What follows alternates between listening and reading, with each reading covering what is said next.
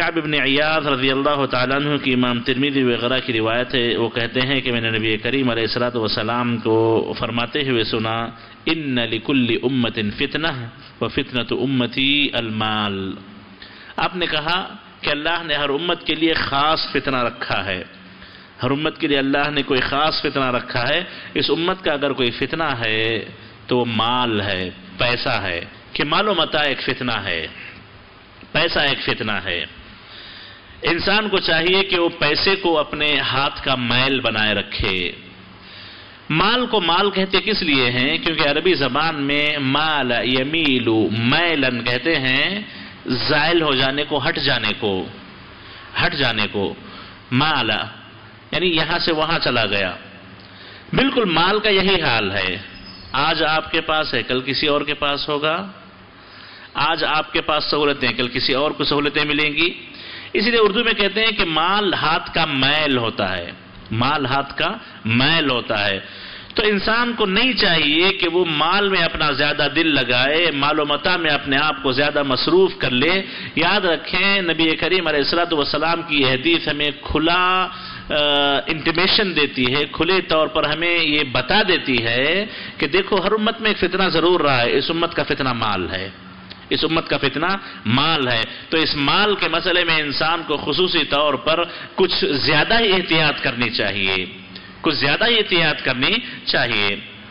سب سے پہلی چیز، مال اللہ کی ایک نعمت ہے۔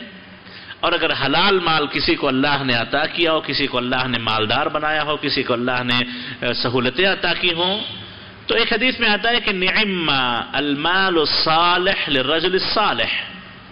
کہ پاکیزہ مال نیک انسان کے لیے بڑا بہترین ہے۔ انسان بھی نیک ہے، مال بھی حلال ہے۔ تو الحمدللہ اس آدمی کی نیکی اسے اس مال کو اللہ کے راستے میں خرچ کرنے پر آمادہ کرے گی۔ وہ مال میں غریبوں کے، فقیروں کے، محتاجوں کے حق کو نہیں بھولے گا۔ وہ مال کو بہت زیادہ مقام نہیں دے گا، مال کو اپنے سر پہ بٹھا کے نہیں رکھے گا، مال کو جہاں رکھنا ہے وہاں رکھے گا بس۔ نبی کریم علیہ السلط والسلام نے اسی مال کے تعلق سے کہا کہ قیامت کے دن یہ مالدار بڑے پریشان حال ہوں گے۔ سوائے ان مالداروں کے جنہوں نے اللہ کا حق ادا کیا ہو غربا کا حق ادا کیا ہو، فقراء و مساکین کا حق ادا کیا ہو۔ اور قیامت کے دن نبی کریم علیہ السلط والسلام نے جیسے کہا کہ بندے سے جب تک چار سوالوں کے جواب نہ لے لیے جائیں، وہ اللہ کے سامنے سے ہٹ نہیں سکتا، ہل نہیں سکتا۔ اس میں سے ایک سوال یہ ہے کہ وہ انمال ہی من این اکتسبہ وفیما انفقہ، کہ مال کہاں سے اس نے کمایا اور کہاں اس نے خرچ کیا؟ کہاں سے اس نے کمایا اور کہاں اس نے خرچ کیا؟ جب تک یہ چیز نہ ہو جائے، یاد رکھیں اللہ کے پاس سے چھٹکارا نہیں ملے گا۔ تو اسی لیے مال کے فتنے سے بچنا، مال کی کثرت کی محبت کو دلوں میں پال کے رکھنا یا مال کے مل جانے کے بعد اسے ضائع کر دینا، یہ تمام چیزیں شریعت میں بڑی سختی سے منع ہے شریعت میں بڑی سختی سے منع ہے کہ مال کی محبت دلوں میں پال کے رکھی جائے، یا مال کے فطرے میں بندہ پڑ جائے، یا مال کے حرص وہ کرنے لگے، یا مال مل جانے پر مال کو ضائع اور برباد کرنے لگے۔ یہ تمام چیزیں شریعت میں بڑی سخت ناپسندیدہ، بڑی سخت حرام ہے کیونکہ انسان کیا ہوتا ہے اس سے؟